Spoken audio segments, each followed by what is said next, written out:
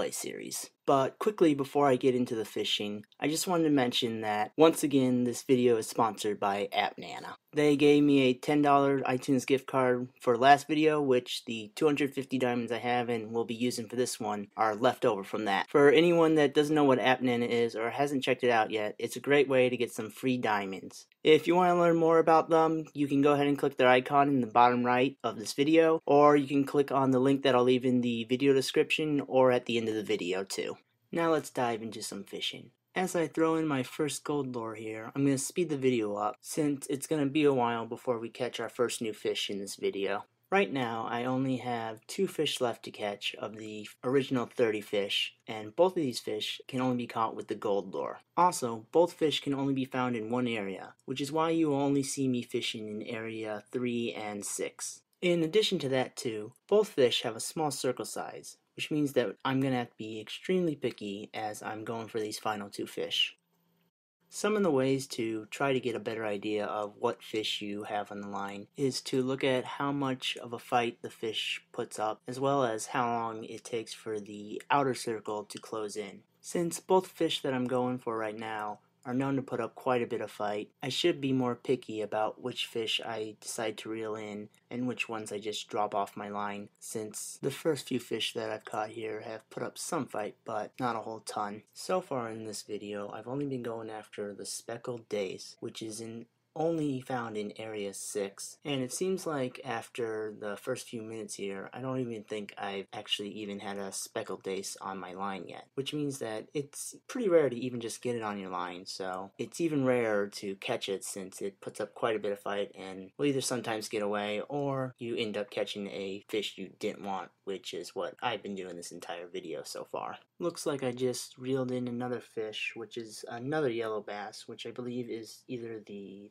third or fourth one so far in this video. And also with that catch, I'm out of gold lures, so it's time to make some more using those precious gold vouchers, which are so, so very hard to get. I probably should have definitely been a lot more picky with which fish I reeled in, as I'm just now realizing how many gold vouchers I used on this video and how long it actually took me to get all those gold vouchers. And as we reel in another fish here, we got another yellow bass. So hopefully from this video, everyone can learn what a yellow bass looks like so you know which fish not to reel in. I think since this was my first time using the gold lures, I was just really hoping that I'd get lucky and catch the two fish that I needed right off the bat without you know, paying too much attention and having to just keep dropping lures to get the correct fish on the line. It seems like I started to become a little more wise here and am dropping a few more lures here as these fish aren't putting up too much fight, so I'm guessing they're not the speckled dace that I'm looking for. I'm not exactly sure why I decided to go ahead and catch this fish. It's probably just me hoping again that I'm getting lucky, but this one didn't put up much fight, and as you saw, we got another yellow bass. With that catch, it's time to make some more gold lures, and as we throw this next lure into the lake, it looks like we got a fish on the line, which, as you can see, that circle is move, closing in very slowly, and it is putting up quite a bit of fight, as circlet's pretty big there again, and getting pretty close to catching it, almost gets away, or keeps fighting, and finally reel it in, and we finally catch the speckled dace, which definitely had a lot different fight than the yellow bass that we've caught about four of so far. Now, with the speckled dace added to our scrapbook, all we have left is to catch the golden trout, which can only be found in Area 3 here. It's also another fish that puts up quite a bit of fight, so you definitely want to be picky about which fish you reel in so you don't waste all your gold lures or gold vouchers. You'll probably notice a lot of times that I'll have a small circle size and a fish that doesn't put up much fight, uh, and that I'll just let go. This is usually because it's not the golden trout, since the golden trout puts up quite a bit of fight, but will usually not put up fight until you're very close to catching it. What I mean by this is usually when you have the outer circle very close to the inner circle, or you have almost caught the fish, it'll usually just dart out very quickly, which is usually a good indicator that it's the golden trout, especially if it does it two or three times. As you will probably see a few times here, I have a fish that's very close to being caught, and since I've almost caught it and it hasn't really dashed away or put up a lot of fight, I'll usually let it go since it's most likely not the golden trout that I'm looking for.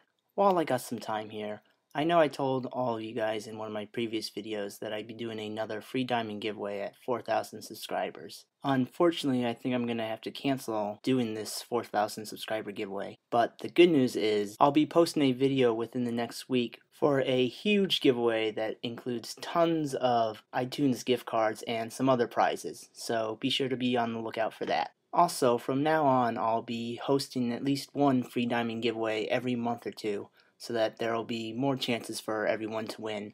In addition to those videos, I'll also be uploading at least one new video a week from now on. I'll try to keep them uh, mix between Let's Play and guides, but it's really up to you guys. Let me know what types of videos you would like to see, whether it be guides, Let's Play, or anything else. I know I've gotten a few requests for how to decorate your farm, as well as how to use Tom and how to get vouchers quickly. So I'm working on some of those videos, but if you have any other ones, be sure to just comment down below and I'll be sure to add it to my list of videos that I'll be making soon. Also, if you just have any comments or questions about fishing, go ahead and comment down below. Or if you have any questions about Hay Day in general, or just questions for me, go ahead and leave a comment down below and I'll be sure to get back to you guys. It's always nice to hear how other people are doing in this game, so if you want to talk about how you guys are doing in fishing, what you guys think about it, or just what you guys think about Hay Day, it'd be great to hear from some of you subscribers.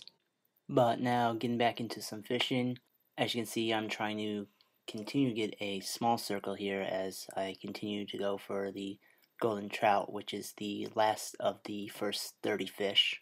So once we catch it here, we will have the first 30 fish in our scrapbook all completed which means there is only four left, which are the four that were added and can only be caught during the special event. For those of you that are confused by what that means, don't worry, I will explain it in the next video since I decided to go ahead and add a seventh part to this quest for the golden trout, which will be the quest for the four new fish that were added. And I guess I will go ahead and continue this video or series if they decide to add any more new fish.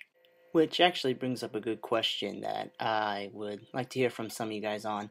Do you guys think they should add some more new fish or just keep it at the 34 that they have right now?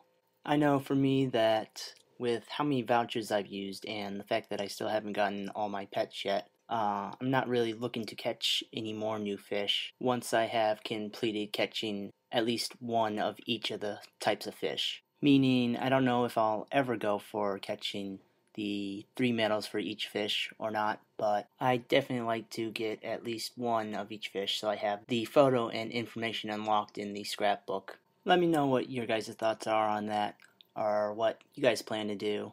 Go ahead and comment whether you are just going for one medal for each fish so you have the picture unlocked in the scrapbook or if you're going for all three medals of each fish or if you're actually just not even really fishing and trying to save up your vouchers for the pets right now. Back to the Let's Play. As you can see, this fish isn't putting up too much of a fight, but I decided to go ahead and catch it, hoping that it'd be a golden trout. And as we make another gold lure here, looks like we are down to only having one gold voucher left, meaning with the one gold lure I have right now, I only have two more chances at catching this golden trout without going and getting some more of those very, very, very rare gold vouchers. Looks like we got a fish on line here with a small circle, and it's actually putting up a bit of a fight, and as we almost catch it there, kind of rushes out of the circle, which makes me think that this might be a golden trout. Although, when we get closer to catching it the second time, it doesn't put up much of a fight, so that should have been a good indication that it wasn't the golden trout, and I should have just dropped the line. Looks like we're down to our last gold lure here, and as we throw it in and hopefully get a fish on the line here, uh, we can see that we have a nice, very small circle, and already this fish is putting up a bit of a fight. As you can see, we come very close to catching it, and kind of darts out and keeps darting around, which is definitely a good indication that this might be the golden trout. And as we finally catch it there, we can see that we finally caught the golden trout. Which is the last of the 30 fish that we had to catch. And as we go over to our scrapbook here, we can go ahead and open it up and collect the diamonds for the new fish that we caught today, which include the speckled dace, the golden trout, and a few other older fish that we got some more diamonds for. And now with that completed, we can flip back to the front of our scrapbook. And as we can see, as we flip through each page, we have a beautiful four fish on each page and pictures for all the original 30 fish, which completes our scrapbook up to the second to last page, where we can see the only fish we have left are the final four, which can only be caught during the special event, which will actually be part 7